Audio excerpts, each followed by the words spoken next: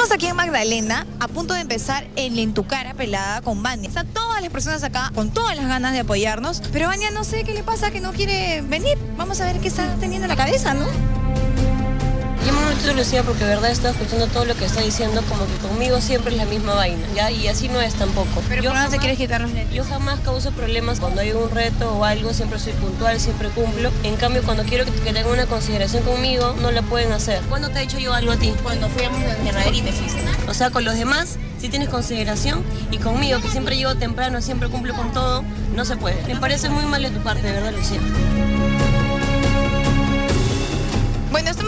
Con todos los equipos listísimos para empezar el BTR. Sin embargo, Vania no está, decidió irse sin ni siquiera avisar. No se sabe por qué no se quiso quitar los lentes. Sin embargo, pudimos notar que estaba con los ojos un poquito hinchados. Al parecer, ayer lloró, se sintió mal, se peleó con alguien. No se sabe por qué Vania no nos quiso dar más explicaciones. Cuando yo pregunté qué había pasado con el tema de Bani, me explicaron lo de los lentes. Me pareció una tontería, porque efectivamente tienes que sacártelos para que, la- para que se te vea la expresión cuando la gente habla mal de ti. Si no, no tiene chiste, ¿no? Eso es lo malo. Yo creo que en un trabajo no pueden haber muchos engreimientos, ¿no? No sé cuál habrá sido la incomodidad de Vania, pero no son maneras de, de irse así. Mira, yo, tengo, yo estoy desde el primer día del programa y jamás he tenido un comportamiento parecido. Y creo que nadie acá, pero eso de que te vas y no avisas a nadie es una falta de respeto que no sé si lo, lo tolerarán de parte de Vania. Ahorita que soy capitán yo le, le impondría una sanción recontra brava, pero eso ya depende del jefe, pues, ¿no? Eso ya es a mayores, eso ya es una falta de respeto no solo al equipo, sino a, la productora general, al jefe, a Bianpiero, a Renzo, porque cualquier persona avisa, ¿no? Pero tienes boca, si es la comunicación, ¿no? Esto fue, digamos, lo que originó toda la discusión que después tuvimos con ella. Bueno, con, con ella no, porque ella no se encontró, porque ella abandonó el programa sin siquiera avisar ni decirle a nadie. Vamos a recordar también eso, por favor. Adelante. ¿Qué cosa? Mira, pues. Allá. Este programa ya no es sano para mí. No es sano para mí, no es sano para mi relación, no es sano para mi vida, ni para mi mente, ni para nada. ¿No vas a participar hoy en el programa? ¿Para nada? Participa y después hablas con Marisol. A mí me afecta esto, es simplemente Pancho, que yo no quiero esto para mí. ¿Qué, qué gustarles hacerme quedar mal a ustedes? ¿Qué gustar? Vania, escúchame, no te puedes ir. Es un engreimiento. Vania, ¿no vas a regresar?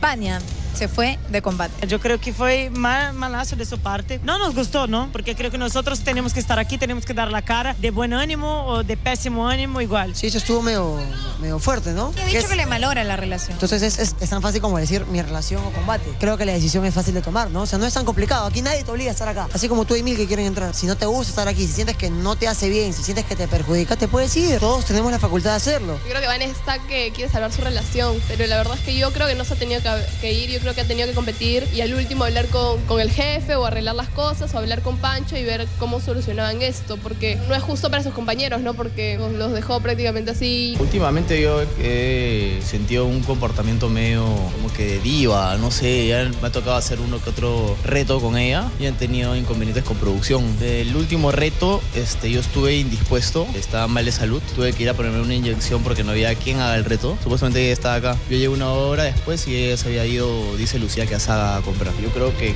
gran parte del hecho de que hoy en día esté en combate es por Cristian, pues, ¿no? Si producción la aceptó, es por Cristian, no es porque es Vania. Y yo creo que eso lo debería tener un poquito más en cuenta porque antes de esto nadie la conocía. Y está adoptando una actitud que ni Cristian toma. Y Cristian es conocido ya mucho antes, ¿me entiendes? Bueno, declaraciones bastante fuertes. Lo que yo sí rescato es lo que dijo Mario Iribarren, una de las tantas cosas, ¿no? Que acá nadie obliga a nadie a estar. Eh, si te gusta, bacán. Si te sientes incómodo, sientes que te perjudica de alguna manera, eh, tienes toda la libertad del mundo para irte, pero creo que de la mejor manera. ¿Cuál es la mejor manera? Conversando, diciendo, ¿sabes qué? Me quiero ir, pero hay todo un seguimiento que hay que hacer, un, este, no, no simplemente tomar la decisión solita e irte. Es que proceso, eso- ¿no? Es un proceso y hay que respetar ese proceso, obviamente. Y se va a respetar, obviamente, también a la persona. y lo que hemos dicho, se, se lo hemos dicho a Vania también, creo que son las... No es lo que ella ha tomado la decisión, sino que es la manera. Así que vamos a preguntarle a ella. Un aplauso para Vania Adelante, Dania. Parecer el público no quiere aplaudirla. ¿Qué le están aplaudiendo, jefe? Vania. ¿Ya está más tranquilita, Vania? En ese- esos días te veíamos bastante alterada. Y yo sé que eh, no ha sido bien de mi parte la manera de retirarme, pero Y hablé con producción. No le escuché decir pido- buenas noches, señorita. Buenas noches, jefe. ¿Cómo está? Este, hablé con producción, les di las disculpas respectivas, no fue la manera, pero en ese momento me sentía muy mal por algo que me había pasado un día anterior y la poca consideración creo que se tuvo el día del reto porque vine con todas las ganas del mundo de realizarlo. Y este, nada, pedirle disculpas a usted, jefe, a Marisol Cruzillat, a ustedes y a mis compañeros por, por haberme ido así.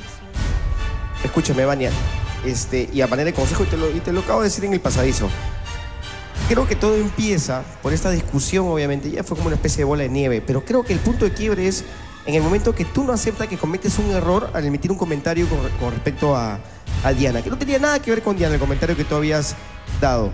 Y que creo que era, que era muy positivo el hecho de que tú te retractes de ese tipo de comentarios, porque no era nada positivo.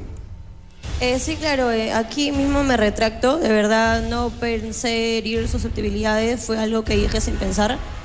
Eh, ofuscada por declaraciones que vi ese mismo día en la mañana y, y nada, fue más que todo eso. Yo sé que no debí reaccionar, no fue la mejor manera, pero han sido una semana difícil dentro de el programa y dentro de Tu vida, fuera. mi vida.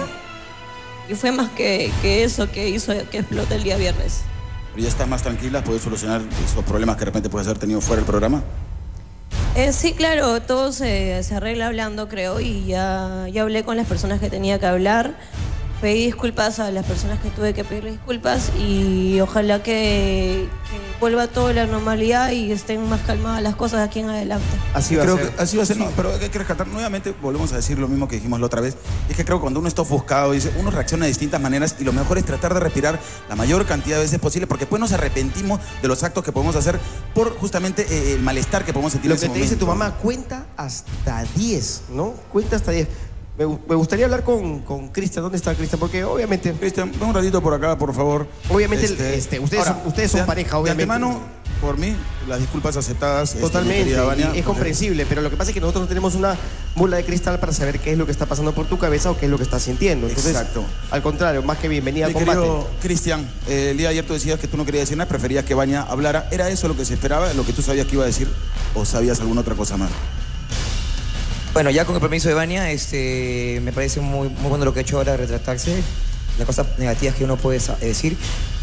Ahora, hay una cosa que sí, que ya eh, que te había comentado también en pasadizo, era que Vania puede aparentar que ser una mujer de mucho carácter, ¿no? Tiene un carácter fuerte y todo, y la gente piensa que es muy fuerte, pero en realidad es muy débil. El carácter es muy fácil. Muy sensible, en todo caso, no débil. Débil, sentimentalmente sensible, la puedes tumbar rápidamente. Y ella se sintió mal, no, bueno, no, te pongo que se ha puesto un poco a llorar. Se sintió mal porque obviamente uno entrega el cariño a, a diferentes personas, ¿bien? Y a veces con el tiempo, cuando uno no, no recibe lo mismo, obviamente le duele mucho. Entonces ella se sintió un poco ofuscada. Yo, ella me llamó directamente, no estaba yo trabajando, y me decía, yo me siento mal porque yo di mucho a esta persona y no recibí ¿Quién? eso, no entendía. Entonces le digo, ok, a veces uno tiene que, tiene que saber de que, que se enfrenta o conoce personas al final eh, no son lo que uno espera, pero la vida continúa. ¿Es alguien de producción, perdón? no, yo creo que es to- tocarlo es, es, es de más. Este, le pido disculpa que. No, está bien, Pero simplemente le dije ella, le di consejo, le dije, ¿sabes qué? Esto te va a servir a que seas más fuerte más adelante y que antes de entregar todos tus sentimientos lo entregues eh, ya segura de ti, porque si no va a pasar esto, ¿no? Y, y eso me pasa a mí, le pasa a mucha gente sentimental, a ti, le pasa a Piero que, que, que cree mucho en las personas, pero bueno, a veces. Eh, De, to- de todo eso se, se aprende. Ahora, Cristian, es el día que, creo, un día previo a que Baña se fuera, creo que tuvo una pequeña discusión contigo en, en en los pasillos acá del, del canal. ¿Eso tuvo algo que ver también con la decisión de Baña de no participar, de que estuviese, que estuviese fastidiada al día siguiente con los ojos llorosos, tal vez? ¿O me equivoco? A ciencia cierta, obviamente tuvimos un problema personal que no viene al caso y con otro tema que ella mez- también tenía eh, eh, personal se mezcló y es por eso que tuvo un- tu- estuvo mal. Ella no sabía que este reto forzosamente tenía que hacerse con lentes porque es la segunda vez que se estaba haciendo. Entonces, como ella, ella ha hecho algún reto anterior con lentes puestos, se dijo, bueno, sácate los lentes y no estaba preparada ni maquillada ni había tapado, digamos, hinchazón sus ojos. Entonces yo le dije, sí le dije, como dijo Jean Piero, nadie se adivina para saber lo que tienes. Y a veces y le dije, el que no llora, no mama. Le digo, tienes que decir que te sientes mal por esto, por esto, por esto, para que sabía entender. nada. Nadie, Claro, porque nadie ni idea de lo que había como dijo pasado. Nadie tiene una bola de cristal para, así, pues, para adivinar qué es lo que le puede pasar a una persona.